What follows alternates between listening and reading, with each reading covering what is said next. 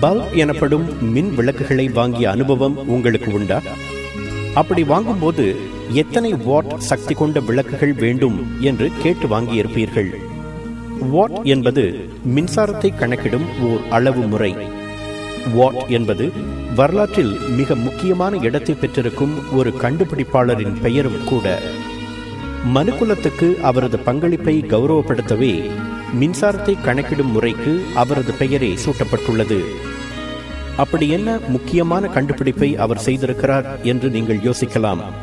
அவரது கண்டுபிடிப்பு பதினேழாம் நூற்றாண்டில் ஐரோப்பாவில் நிகழ்ந்த இண்டஸ்ட்ரியல் ரெவல்யூஷன் எனப்படும் தொழிற்புரட்சிக்கு ஆணிவேராக இருந்த ஒரு கண்டுபிடிப்பு. இயந்திர சக்தியின் மகிமையை உலகுக்கு எடுத்துக்காட்டிய ஓர் அற்புத கண்டுபிடிப்பு. உலகம் தொழில்மயமாவதற்கு உதவிய ஓர் அபூர்வ கண்டுபிடிப்பு. நீராவி என்ற இயற்கை சக்திக்கு கடிவாளமிட்டு அதனை மகத்தான சக்தியாக மனுக்குலத்துக்கு தந்த அந்த வரலாற்று நாயகரின் பெயர் ஜேம்ஸ் வாட். அவர் கண்டுபிடித்து தந்த கருவி ஸ்டீம் என்ஜின் எனப்படும் நீராவி இயந்திரம். ஆயிரத்தி எழுநூற்று முப்பத்தாறாம் ஆண்டு ஜனவரி மாதம் பத்தொன்பதாம் தேதி ஸ்காட்லாந்தில் கிரீனாக் எனும் ஊரில் பிறந்தார் ஜேம்ஸ் வாட். அவரது குடும்பம் ஏழ்மையான குடும்பம். அந்த காலகட்டத்தில் ஆங்கிலேயர்கள் ஸ்காட்லாந்தில் அடிக்கடி ஆக்கிரமிப்பு செய்ததால் நாட்டின் பொருளாதாரமும் மோசமான நிலையில் இருந்தது. அத்தியாவசிய பொருட்களின் விலைகள் அதிகமாக இருந்தன. ஜேம்ஸ் வாட்டுக்கு வரைவது என்றால் அதிக ஆசை. ஆனால் வரைவதற்கு தாழ் வாங்கி தரக்கூட முடியாத நிலையில் குடும்பம் இருந்தது. அதனால் வீட்டின் தரையிலெல்லாம் ஆசை தீர வரைந்து தள்ளுவார் ஜேம்ஸ் வாட். அவர் வரைந்தவையெல்லாம் என்ன தெரியுமா? வட்டங்களும் முக்கோணங்களும் சதுரங்களும் கொண்ட கணித சம்பந்தமான படங்கள். பிறந்ததிலிருந்தே உடல் ஆரோக்கியமில்லாமல் இருந்தார் ஜேம்ஸ் வாட். எப்போதும் இருமிக்கொண்டே இருப்பார். ஸ்காட்லாந்தில் குளிர்காலம் வந்தால் அவரது நிலை இன்னும் மோசமாகும். அந்த நேரங்களில் அவரை பள்ளிக்கு அனுப்ப மாட்டார் தாயார். பள்ளிக்கு சென்ற நாட்களில் அவருக்கு ஜியாமெட்ரி என்ற கணித கூறில் அதிக ஆர்வம் இருந்தது. அவர் பொறியியலில் சிறந்து விளங்க அது ஒரு முக்கிய காரணம். அந்த காலத்தில் அதாவது சுமார் இருநூற்றி ஐம்பது ஆண்டுகளுக்கு முன்னால் இங்கிலாந்து எப்படி இருந்தது தெரியுமா? எங்கும் அமைதியும் நிசப்தமுமாக இருக்கும். நகர்ப்புறங்களில் குதிரைகளின் குளம்பொலியும் அவை இழுத்துச் செல்லும் வண்டிகளின் சக்கர ஒலியும் தான் கேட்கும். கிராமப்புறங்களில் ஆற்றில் நீர் இறைக்கும் சக்கரங்களின் ஒலி கேட்கும். கண்ணு கட்டிய தூரம் வரை வயல்வெளிகளும் காடுகளும் தான். அங்கொன்றும் இங்கொன்றுமாக சிறு சிறு தொழிற்சாலைகள் இருந்தன.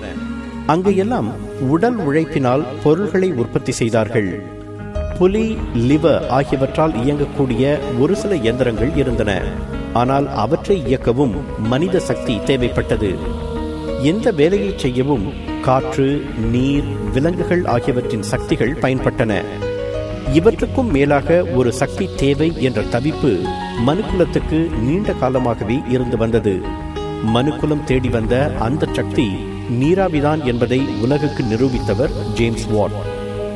அவருக்கு முன்பாகவே ஆயிரத்து அறுநூற்று தொன்னூற்றி எட்டில் தாமஸ் சவேரி என்பவர் நீராவியை கொண்டு தண்ணீரை இறைக்கும் ஓர் எளிய கருவிக்கான காப்புரிமம் பெற்றிருந்தார். அந்த கருவியில் சில மாற்றங்களை செய்து சற்று மேம்பட்ட நீராவி இயந்திரத்தை ஆயிரத்து எழுநூற்று பன்னிரெண்டாம் ஆண்டு உருவாக்கினார் தாமஸ் நியூகோமன் என்ற ஆங்கிலேயர். ஆனால் அவையெல்லாம் நிலக்கரி சுரங்கத்திலிருந்து தண்ணீரை இறைக்கும் அளவுக்குத்தான் சக்தி கொண்டவையாக இருந்தன. ஆயிரத்து எழுநூற்று அறுபத்தி நான்காம் ஆண்டு தாமஸ் நியூகோமனின் நீராவி எந்திரத்தை பழுது பார்க்கும் வாய்ப்பு ஜேம்ஸ் வாட்டுக்கு கிட்டியது. அப்போதுதான் அவருக்கு நீராவி சக்தியின் மேல் ஆர்வம் ஏற்பட்டது. படிப்பு முடிந்து லண்டனுக்கு வந்த ஜேம்ஸ் வாட் ஓராண்டுக்கு விஞ்ஞான கருவிகள் செய்யும் ஒரு நிறுவனத்தில் பயிற்சி பெற்றார். பின்னர் ஸ்காட்லாந்து திரும்பிய அவருக்கு கிளாஸ்கோ பல்கலைக்கழகத்தில் இயந்திர கருவிகள் தயாரிக்கும் பொறுப்பு கிட்டியது. அப்போது தாமஸ் நியூகோமன் உருவாக்கியிருந்த நீராவி இயந்திரத்தை பழுது பார்த்து தருமாறு பல்கலைக்கழகம் அவரை கேட்டுக்கொண்டது. அந்த கருவியில் நிறைய குறைகள் இருந்ததை உணர்ந்தார் ஜேம்ஸ் வாட். குறிப்பாக அது அதிக சக்தியை விரயமாக்கியது. விஞ்ஞான கருவிகள் செய்யும் பயிற்சியும் இயற்கையிலேயே அவருக்கு இருந்த கற்பனா சக்தியும் கை கொடுக்க ஜேம்ஸ் வாட் நீராவி எந்திரத்தில் பல முக்கியமான மாற்றங்களை செய்தார். ஆயிரத்தி எழுநூற்று எண்பத்தி ஒன்றில் சக்கரம் பொருத்தப்பட்ட ஓர் அமைப்பையும் பிஸ்டனை மேலும் கீழும் இயக்கும் ரோட்டரி முறையையும் உருவாக்கி காப்புரிமம் பெற்றார். அந்த மாற்றங்களால் அந்த இயந்திரத்தின் சக்தி பன்மடங்கு பெருகியது. அந்த மாற்றங்களை கொண்டு வர கடுமையாக உழைத்தார் ஜேம்ஸ் வார் சிறு வயதிலிருந்தே அவர் ஆரோக்கியமற்று இருந்ததால் அந்த காலகட்டத்திலும் அவர் அடிக்கடி நோய்வாய்ப்பட்டார். வேலையில் முழுமையாக ஈடுபட முடியவில்லை. இருப்பினும் அவர் மனம் தளரவில்லை. அவருக்கு வர்த்தக திறமை அவ்வளவாக இல்லை. எனினும் ஆயிரத்தி எழுநூற்றி எழுபத்தைந்தாம் ஆண்டு மேத்யூ போல்டன் என்ற பொறியாளருடன் கூட்டு சேர்ந்தார் அடுத்த இருபத்தைந்து ஆண்டுகளுக்கு வாட்டும் போல்டனும் பல்வேறு நீராவி இயந்திரங்களை தயாரித்து பெரும் செல்வம் சேர்த்தனர். நீராவி இயந்திரத்தை மட்டுமின்றி வேறு சில கண்டுபிடிப்புகளையும் செய்தார் ஜேம்ஸ் வாட். இயந்திரத்தின் வேகத்தை கட்டுப்படுத்த உதவும் சென்ட்ரிஃபியூகல் கவர்னர் என்ற கருவியையும் பிரஷர் கேஜ் என்ற அழுத்த மானியையும் அவர் கண்டுபிடித்தார். ஜேம்ஸ் வாட் கண்டுபிடித்து தந்த நீராவி இயந்திரம் மனுக்குலத்துக்கு கிடைத்த பெரிய வரப்பிரசாதமாக அமைந்தது. பல தொழில்களுக்கு உகந்தவாறு நீராவி இயந்திரங்கள் உருவாக்கப்பட்டன. அதுவரை மனிதன் மற்றும் விலங்குகளின் தசை வலிமையையே நம்பியிருந்தது தொழில் உலகம். ஜேம்ஸ் வாட்டின் நீராவி இயந்திரம் வந்த பிறகு நெசவாலைகள் முதல் உற்பத்தி ஆலைகள் வரை இயந்திரமயமாயின உற்பத்தி பன்மடங்கு பெருகியது.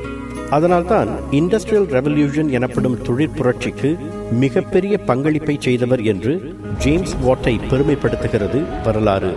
ஜேம்ஸ் வாட்டின் கண்டுபிடிப்பு பல துறைகளில் ஊடுருவி இருக்கிறது. ஆயிரத்தி எழுநூற்று எண்பத்தி மூன்றாம் ஆண்டு ஒரு படகில் நீராவி இயந்திரத்தை பொருத்தி அதனை இயக்கினார் மாக்கீஸ் டி. ஜெஃப்ரி எபன்ஸ் என்பவர். ஆயிரத்தி எண்ணூற்று நான்காம் ஆண்டு ரிச்சர்ட் ட்ரிவேத்திக் என்பவர் நீராவி இயந்திரத்தை கொண்டு இயங்கும் ரயில் வண்டியை கண்டுபிடித்தார். அவை இரண்டும் ஆரம்பத்தில் வெற்றியடையாவிட்டாலும் சில ஆண்டுகளில் நீராவி படகும் நீராவி ரயிலும் முறையே கடல் மற்றும் நிலப்போக்குவரவில் பெரும் புரட்சியை ஏற்படுத்தின. நீராவி படகுகள் கடல் அலைகளை வெற்றி கொண்டன நீராவி ரயில்கள் நிலப்பரப்புகளை வெற்றி கண்டன. ஹார்ஸ் பவர் என்ற அளவு முறையை கேள்விப்பட்டிருப்பீர்கள். அந்த முறையை உலகுக்கு தந்தவரும் ஜேம்ஸ் வாட் தான். ஓர் இயந்திரம் செய்யும் வேலையை ஒரு குதிரையின் சக்திக்கு ஒப்பிட்டு பார்க்கும் முறைதான் அது. ஒரு பலம் வாய்ந்த குதிரை ஒரு சராசரி வேலையை செய்வதற்கு எவ்வளவு சக்தியை பயன்படுத்துகிறதோ அதுதான் ஒரு குதிரை சக்தி. முப்பத்து மூவாயிரம் பவுண்ட் எடையை ஒரு நிமிடத்திற்குள் ஓர் அடி உயரத்துக்கு தூக்குவதற்கு தேவைப்படும் சக்தியை ஒரு குதிரை சக்தி அதாவது ஒரு ஹார்ஸ் பவர் என்று நிர்ணயித்தார் ஜேம்ஸ் வாட். இப்போது எந்த இயந்திரத்தின் வலிமையும் குதிரை சக்தி அளவில்தான் கணக்கிடப்படுகிறது. உலகின் தொழில் வளர்ச்சிக்கு மிகப்பெரிய பங்களிப்பை செய்த ஜேம்ஸ் வாட் ஆயிரத்தி எண்ணூற்று பத்தொன்பதாம் ஆண்டு ஆகஸ்ட் பத்தொன்பதாம் தேதி தமது எண்பத்து மூன்றாவது வயதில் இங்கிலாந்தில் காலமானார். வாழ்நாள் முழுவதும் கிட்டத்தட்ட நோயாளியாகவே இருந்த ஒரு மனிதனால் மனுக்குலத்துக்கு எவ்வளவு பெரிய சக்தியை கொடுக்க முடிந்திருக்கிறது பார்த்தீர்களா? வறுமையும் நோயும் அவரின் தன்னம்பிக்கைக்கும் உழைப்புக்கும் தடை போட முடியவில்லை. இருநூற்றி ஐம்பது ஆண்டுகளுக்கு முன்பு அவருக்கு வானத்தை வசப்படுத்த உதவிய காரணங்கள் இன்றைக்கும் கூட பொருந்தக்கூடியவைதான். ஜேம்ஸ் வாட்டை போல தடைகளை கண்டு தயங்காமல் தன்னம்பிக்கையோடு உழைக்கும் எவருக்கும் எப்போதும் எந்த வானமும் வசப்படும்.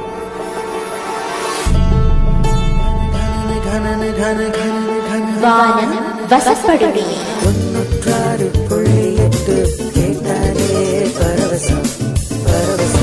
எங்களுடைய நிகழ்ச்சிகள் உங்களுக்கு பிடித்திருந்தால் உடனுக்குடன் கண்டு மகிழ கீழே உள்ள சப்ஸ்கிரைப் பட்டனை அழுத்தவும். எங்களுடைய நிகழ்ச்சிகள் உங்களுக்கு மிகவும் பிடித்திருந்தால் உங்களுடைய நண்பர்களுக்கும் ஷேர் செய்யவும். நன்றி வணக்கம்.